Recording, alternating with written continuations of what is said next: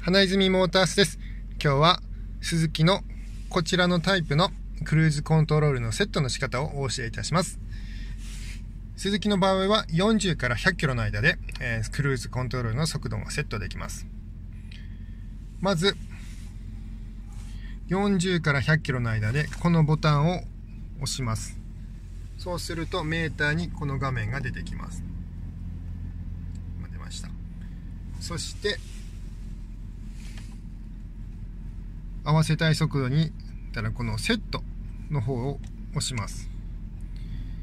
そうすると自動走行できます。またこちらのボタンは自動追従がついての機能がついている車なんですが車間距離が短め中間長めこの調整ができます。キャンセルボタンを押すかブレーキを押すかするとあの解除になります。また走行中に速度を上げたいときはこちら。下げたいときはこちら。これで調整することができます。